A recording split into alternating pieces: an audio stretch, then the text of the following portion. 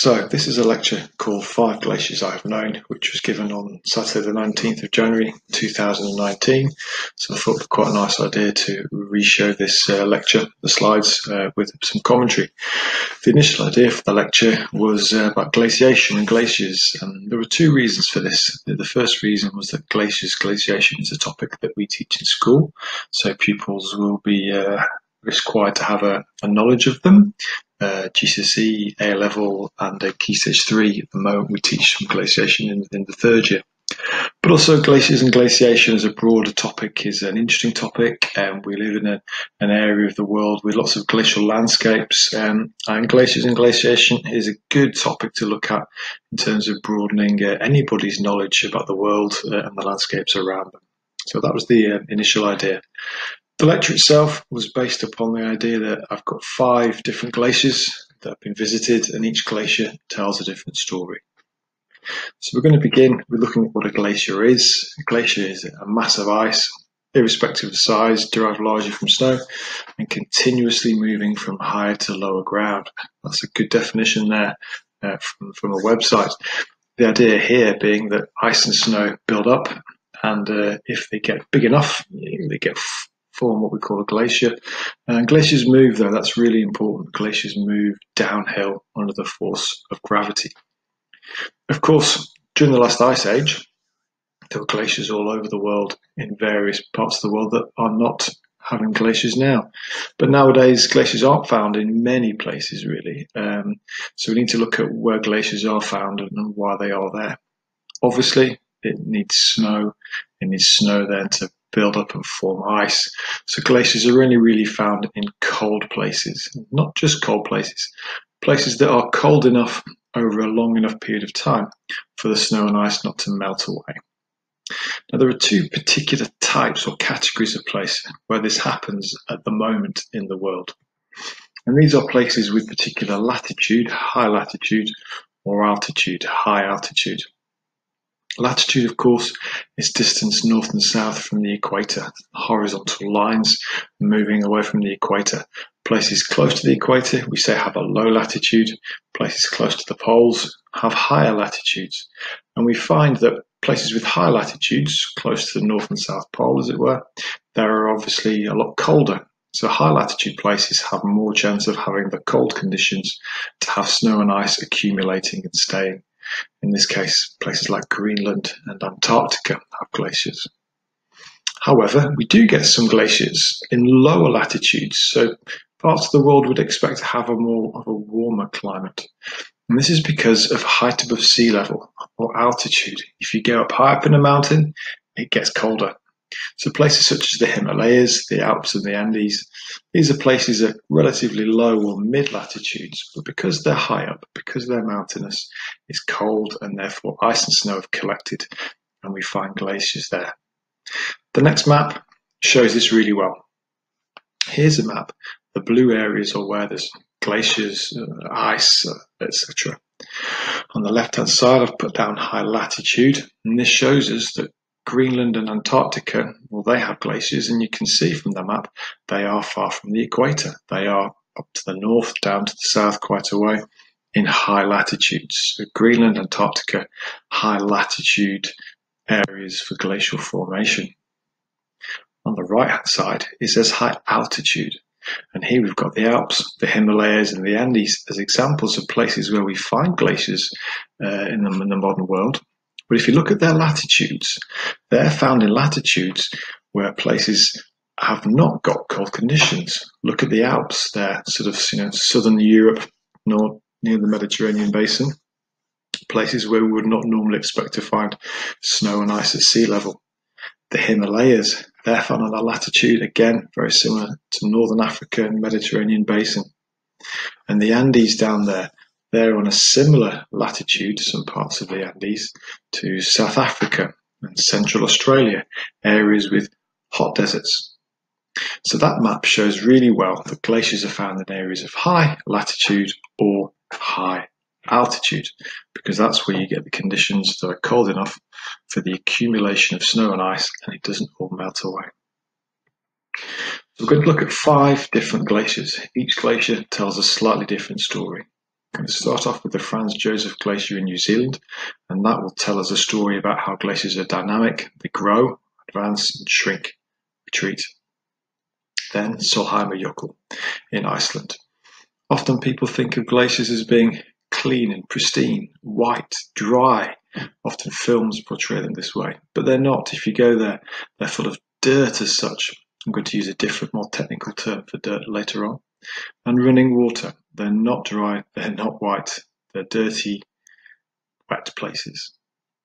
Then we've got Perito Moreno in Argentina. Uh, glaciers change as they age, they don't stay the same. So as they get older, as humans and animals and vegetation, as it ages, it will change. And we'll look at how colour can show us this. Then we've got the Grey Glacier in Chile. Now, glaciers often can be vast, huge areas of ice. And small changes can be very important and shouldn't be overlooked. And Grey Glacier gives us a good example of this. And finally, the Mer de Glace, Chamonix, Mont Blanc in France. The most accessible glacier to us here, and that is going to show us that glaciers are good indicators of climate change. So, our first glacier, Franz Josef on the South Island of New Zealand. Really very strong glacial landscape down there. And the Franz Josef is a very often visited glacier. It's a very touristy glacier in a way. There's a picture of it you walk towards the glacier along the valley bottom, and the glacier kind of comes tumbling out of the mountains in the valley. I've drawn a yellow line on the right hand side, and this is going to show us a common idea about the glacial budget, we call it, how glaciers can grow, advance, or shrink, retreat. Above that imaginary yellow line, it's high up, and we have the inputs into the glacial system. The classic input here, obviously, is snow. And if there's lots of snow coming into the glacier, the glacier will build up, accumulation occurs, and it's going to grow. The glacier is going to advance. Below the yellow line, got the outputs. And the output from a glacier, the main one, of course, is melting. And if the glacier starts to melt a lot, it will retreat. So I'd like you to think of a glacier in terms of a glacial budget. Inputs, the snow, advancing, growing glacier. Outputs, the melting, retreating, shrinking glacier. And the little yellow line there shows us almost a line that you can kind of think about with the glacier, where above that line, there are more inputs than outputs, and below that line, there are more outputs than inputs. That line changes from season to season and glacier to glacier, but let's have a think about a glacier as a dynamic place with a budget. So, glaciers are constantly moving, Gravity is obviously acting to pull them downhill, but they're also growing and shrinking, advancing, retreating a little bit on their own accord. Over a short time scale, they will advance and retreat, winter to summer. But over a longer time scale, the Earth will experience, of course, ice ages and interglacials as we move from really cold areas, times of, of, of, the, of the Earth's history, into warmer areas. Glacier number two. Sólheimajökull in Iceland. A picture on the left hand side, Google Maps. I really like it. You can see Iceland. You can see the areas of white, these sort of ice caps really. What's noticeable to me, looking at that geographically on the left hand side, is that the ice seems to be in sort of circles. Very interesting. Said before we get glaciers because of altitude or latitude. And the reason why the white areas of snow are relatively round is because they're on top of round-ish mountains, in this case volcanoes. So in Iceland, the volcanoes give us the highest land and the snow will accumulate forming ice caps. The photograph, the picture on the right hand side shows the Sólheimajökull glacier just coming out and down off the ice cap. It's like a ribbon, like a band, like a tongue of white ice that's flowing out of the ice cap. So really interesting geography there from the satellite image of Sólheimajökull. If we go there, this is what it looks like. It's not dry, it's not white, it's not a clean place. The glacier's there, you can see the glacier itself has got lots of dark black marks on it. Yeah, that's a lot of deposition of material, ash from volcanic eruptions, and material from the valley. In front of the glacier, you can see all the meltwaters. So even when the glacier is advancing and it's the cold winter season, there's still a lot of melting going on and there's an awful lot of water coming out from the glacier. And that's bringing with it any material the glacier has eroded and transported. And these we call moraines. So if you look at the glacier, it's dirty as such. That's because of all the moraine, all the material that's been transported and deposited. It's very wet as the glacier is constantly melting as it goes through its yearly cycle. So Sólheimajökull shows us that glaciers aren't white and dry and pristine. They're quite sort of dirty, moraine, wet areas and landscapes. Next glacier, Perito in Argentina. Um, you can see on the left-hand side picture there lots of uh, ice and snow on top of the Andes, and then there's quite a big glacier coming out from the mountains. Perito Moreno is a very famous glacier. You'll have seen it in lots of pictures. It's a very tourist, very touristy site. If you look at it, there we go. On the left-hand side, that's my photograph from 2000. Bit of a cloudy day. I can't compete with the photograph on the right-hand side, where it's a sunny day. Picture there taken from Google Images. What's remarkable about the Perito Moreno is its colour, and this indicates that glaciers do change as they get older. If we look at the, the snout, at the front end of the glacier, the Perito Moreno has extremely vivid, clear blues, very dark blues, quite beautiful colours. And basically, over time, as the pressure builds up, the ice is squeezed, the, the air is sort of squeezed out really, and there's an increase in density. As this happens, the ice gradually changes from a whitish colour to a blue colour. So basically, blue ice is old ice. Okay.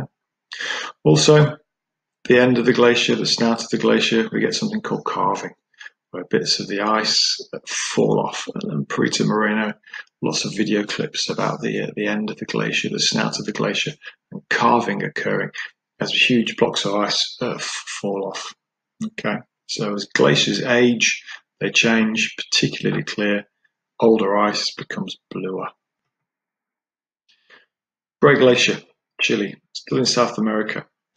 This one you can see on the image on the left hand side, you can see the glacier and you can see the pattern, this sort of linear pattern.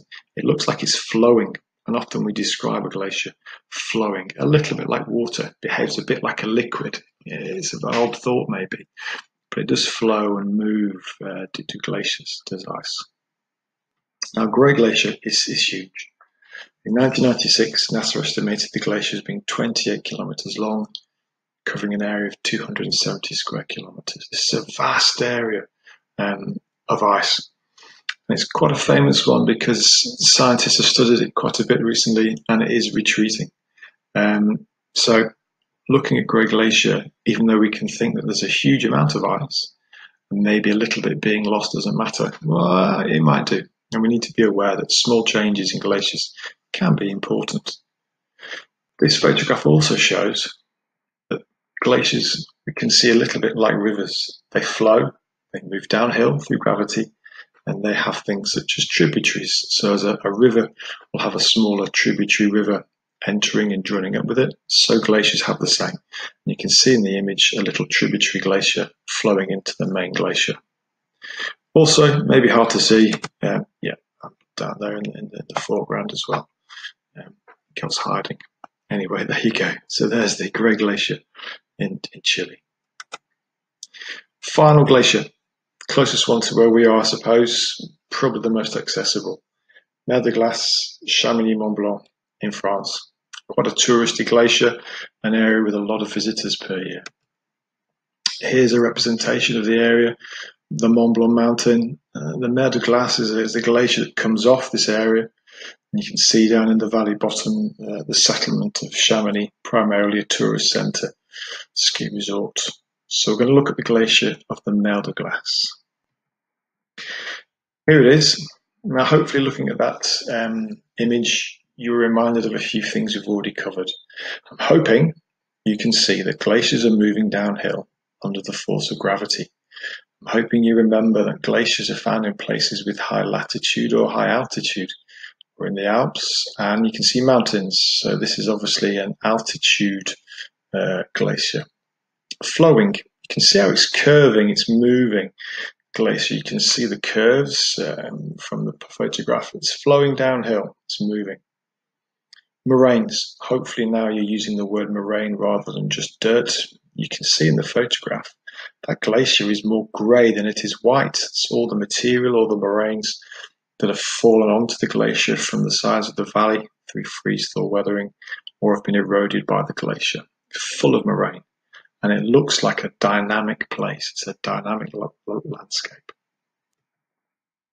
So, Mer de Glace Chamonix, indicator of climate change. Uh, that's my thumb, indeed. And you can see the landscape.